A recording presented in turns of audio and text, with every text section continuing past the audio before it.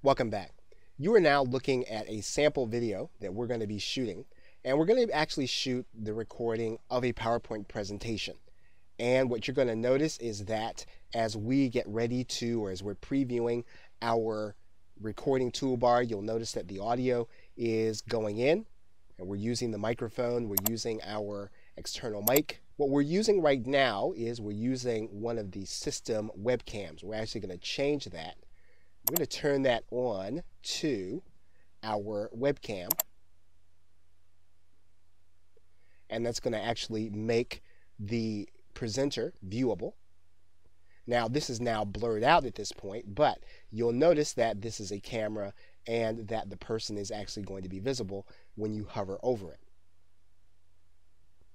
The other thing we're going to do is we're not going to have a timestamp. So we're going to take this and we're going to get rid of the annotations.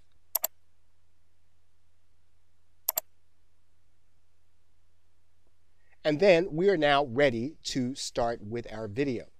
Now, in a later video, we're actually going to show you a couple of ways that you can actually record PowerPoint presentations, but we're going to shoot this video so that we can then get familiar with the editing interface. So in order to get started, we have our recording toolbar set we have our mic ready, we have our webcam ready, we're now ready to record. So what we're going to do is we're going to go ahead, we're going to hit the record button.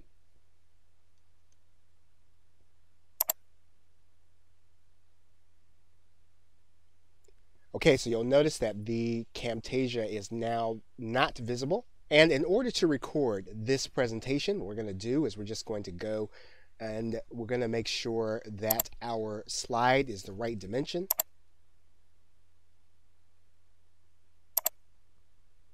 And then we're going to start our slideshow. So we're going to advance the slides and we would actually talk through this and we're going to just continue the PowerPoint. We complete the presentation and now that we are complete, we can then stop our video. And we can do that by getting the camera back here and then clicking the stop button. And so now our video is on these two tracks. And what we're going to do now is we're going to get to know some of the features on the actual editing screen. Okay, so with that, thanks, and I will see you in another video.